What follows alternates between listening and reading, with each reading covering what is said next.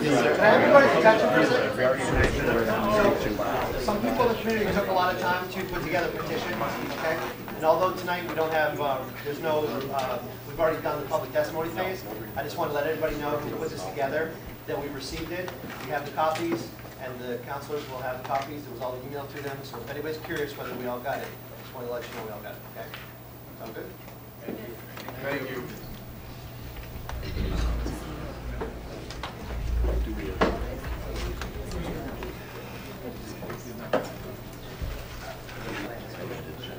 All right, so we're, we're all curious up here because we're just, we're curious.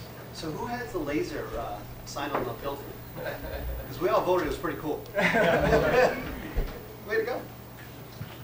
Should we do that for Main Street? Like, no parking for a snow ban or something?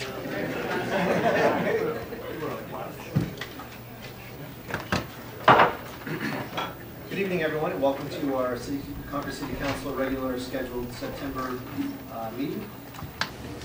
Okay. Um, So, for, for the folks at home and for those who are here tonight, I want to explain, we're handling this just a little bit differently. Uh, Typically, uh, as you all remember, uh, the issue of the uh, Homeland Security grant um, was tabled, there was not a vote last month.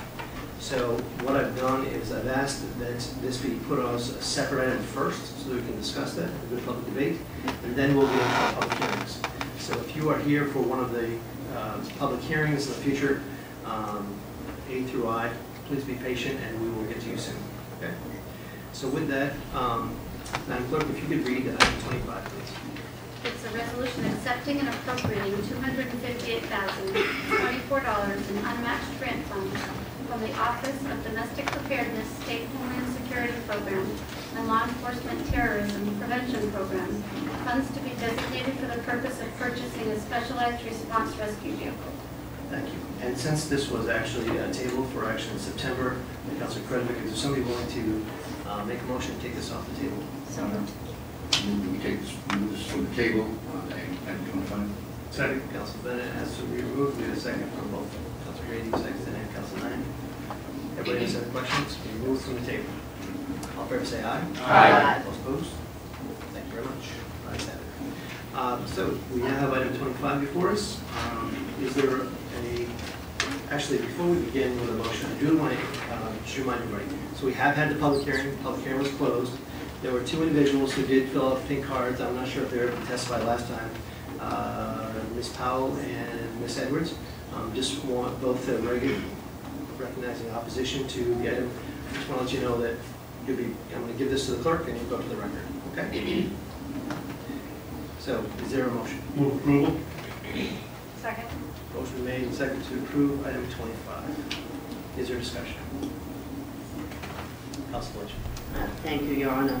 Uh, Before I speak to uh, my vote, I would like to set the record straight because there has been some scuttlebutt uh, that the uh, police chief was uh, meeting with me to strong arm me to vote for the backyard.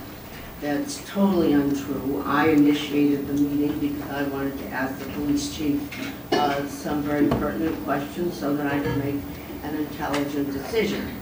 Um, I want everybody to know that if every counselor has a perfect right to speak with department heads or the city manager about any issue. We don't make any decisions.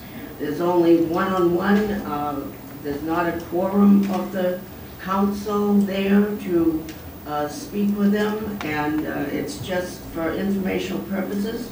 And we all come together and share the kinds of things that we learn. So I just wanted uh, to set the record straight because our police chief would never, ever do that. I am convinced. I have great respect for John Duval. And, uh, and for anybody to say that he would strong arm a city councilor to make a decision is very, very out of line.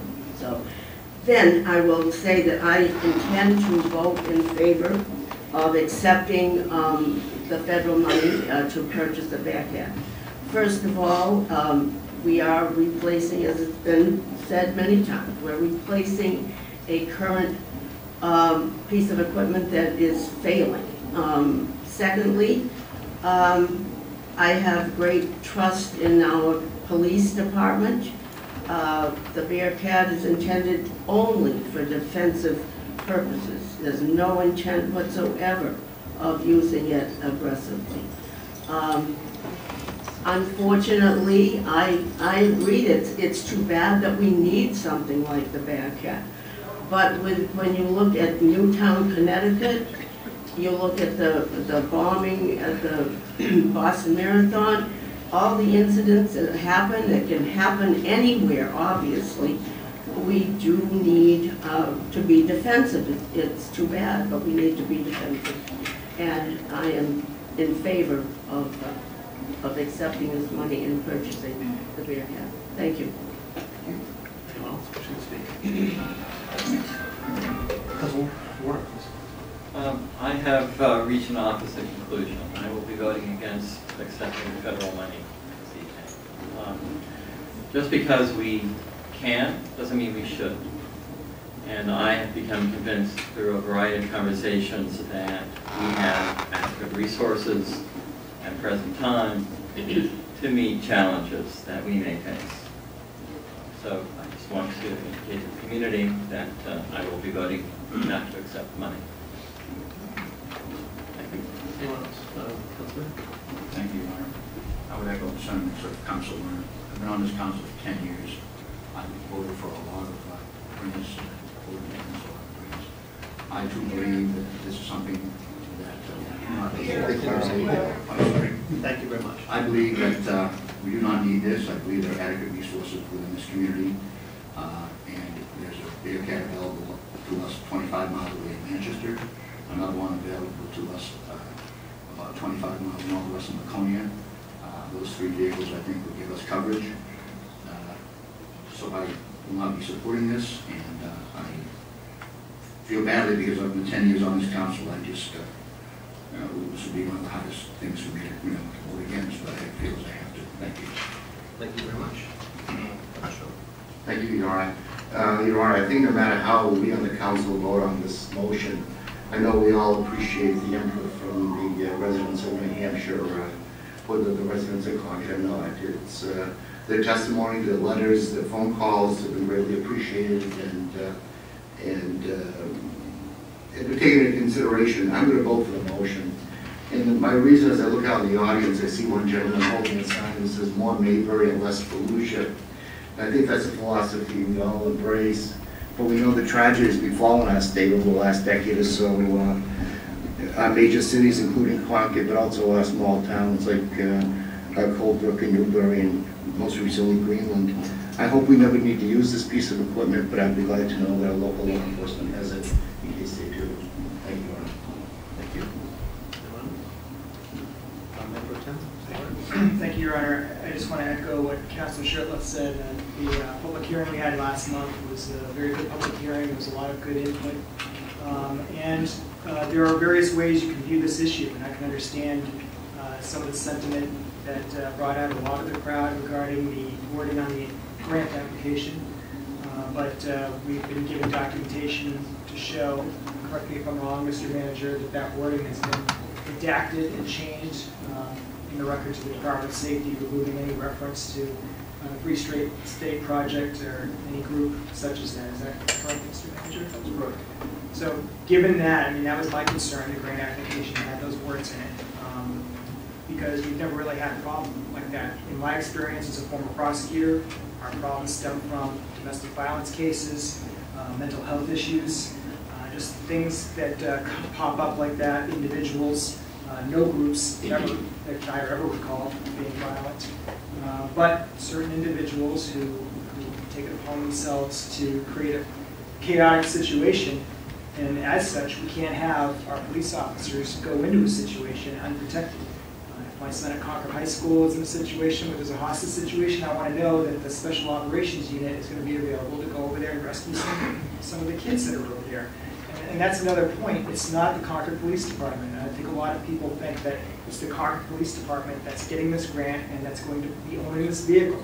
Although the chief applied for the grant, that vehicle is going to be the property of the uh, Central Special Ops Unit.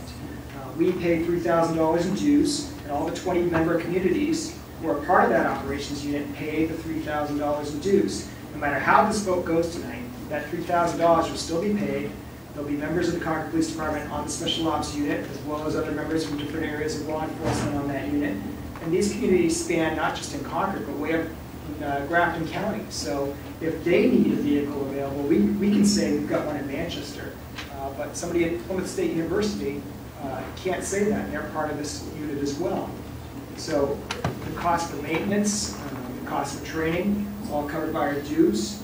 And uh, as I said, no matter how this vote goes, we'll continue to, to pay in our dues because we need that unit in this region of the state. And uh, finally, we already have a vehicle anyway. This is really, from my view, a replacement of that vehicle for the special ops unit. So given all those situations and the uh, crime scenes I've had to uh, be involved in hour after hour, especially in the cold of the winter, when you just can't be exposed if you have a situation with an armed person, or you need a vehicle, you need to get some shelter, I'm definitely gonna be able to do this. Councilor Craig. Thank you, Your Honor. This has been a really difficult decision, and ultimately, I want to give my appreciation to the number of people that reached out to this community for petition signing or to gather input. I think that it's, it shows that this has been a huge civic discussion, and it is truly appreciated. At the end of the day, I have to stand here and I have to vote for my ward. And my ward reached out tenfold to say, get this Bearcat. One person called to say, please do not, though the neighborhood, the city has been peppered with our phone numbers. I would qualify that by saying two additional calls came in today, for a total of three, but neither of those two were from my ward. It is very raw that we had two armed robberies in Ward Two, Ward One. We've had two robberies at the Cumberland Farms, at the Dunkin' Donuts. We've had armed home invasions. The Hoyt incident, Hoyt Road incident was right in our backyards. And we will not forget, and voters have not soon forgotten, voters, residents have not forgotten the gentleman that took his wife's life and his own in Penacook. That's what people are seeing at the forefront. And when they saw on those flyers that there were only two murders since 2004, they were wondering and asking me, what about Philip and Sarah? They lived in our neighborhood. They lived right off of Fisherville Road. And Mr. Gearing could have shot those children right in our neighborhood. They could have shot him, or he could have shot them right at the Fourth of July festivities. That's what I heard from my neighbors, that's what I heard from my friends and parents in the school district. And at the end of the day, this ward is voting in favor of the Bearcat. Thank you. Thank you, Councilor. Anyone else? Councilor Sexton? Um, Thank you, Your Honor. Uh, Like Councilor Credit, I I certainly appreciate um, all the debate that's happened. And um, I'd like to say that I absolutely agree with those who've expressed concerns about the militarization of our police departments across the country. Um, But um, I think these are really, really very valid concerns. But luckily, Concord has a very long history of community policing. Um, And uh, I respect the work that that they do. Um, I think the fact that our current armored, armored vehicle, the Peacekeeper, that we've had for 30 years, has only been used in the most extreme and rare circumstances is a testament to the type of police work that our community does. And when I look down Main Street, I see our officers on bikes, not in the Peacekeeper, and I think that's the way it should be, and I think that's the way it will continue to be. But our uh, current vehicle is old, it's retired, uh, we need a new one, we need a new one to keep uh, people safe, and this really could be uh, the difference between life and death in, in certain situations. And it's certainly my, my hope that this uh, new vehicle um, never has to be used. Uh, But I, I think it's my moral and ethical obligation to vote in favor of providing all of the tools that this city feels it's necessary to keep uh, our citizens and our officers safe. So I will be supporting this item. Thank you. Anyone else? Thank you. Um, I share your thoughts, and, uh, and also uh, Councilor President's on this. Um, It, it was a very interesting uh, four weeks, and um, educational-wise and everything else, um, dealing with the rise of the warrior cop, which I happen to uh, the, uh, that was lent to me to read, and, and I can certainly understand there's places in the country that uh, the police have abused their authority. I haven't seen it in Concord. I've lived here since 1971. I have the utmost respect for our Chief Duval uh, and, and his police department. I think they're very professional. I know they're very professional. Uh, The screening just to become a police officer in Concord is very rigorous, and uh, to become an officer of this, in this city uh, is is really, uh, I think, a a plum position. And it's not based on being a warrior cop, but it's being a police officer and someone to defend uh, the citizens in Concord and um, just do, a- I think, a very fantastic job with it. As far as the, the purchase of the Bearcat, once, understanding is that it's not a police, Concord police vehicle, but it's, it's uh, being used by community, 20 communities. The cost, that was a a concern about the upkeep and maintenance, that's what people, that's a lot of people in Concord ask me about. And how much is this thing gonna cost us in our taxpayer money? It's not, it's part of the uh, uh, $3,000 that we pay annually to to belong. And, uh, and so I'm voting for this. Thank you. Anyone else? Uh, Councilor Boucher. Thank you, Mr. Mayor. Um, I understand that, first of all, I want to have everybody understand and know that I completely support uh, Chief Duval. Some of and I appreciate all the emails we received, the letters we received, I appreciate people going out and getting petitions. Um, But there were some comments that were made through email and um, and mostly through email that I found that were unfounded towards our uh, Chief Duval. He's a very honorable man. We're lucky to have him here. The city is very lucky to have someone with his skills. And um, just because you might disagree on the Bearcat issue, I think um, we cannot, um, it's important to understand that he's a very capable um, chief of police, and we're very, very fortunate to have him in the city of Compton. However, I do understand that this Bearcat is a defensive vehicle. However, I think the community is, there's confusion in the community about exactly what this vehicle is. And I will not be supporting the Bearcat. I agree with Council Warren and Council Bennett that we have other vehicles like this um, at- our access, that if we do need to use the, uh, um, a vehicle like this, that we have access to it. We have our own state homeland security division. I have received phone calls, and my phone calls have been not to support the Bearcat. People stop me and ask me not to support it for very, very different, for different reasons. And for those reasons, I find that, you know, where, wherever we stand, I think all of us are taking votes um, that we feel are moral and ethical. I do have to say, though, that a lot of the voices of our neighbors are getting drowned out through um, certain uh, organizations that come. And, um, and although um, some voices are louder than others, a lot of our neighbors have quieter voices and just have concerns that they just don't think this is something they need to see um, City of Concord have.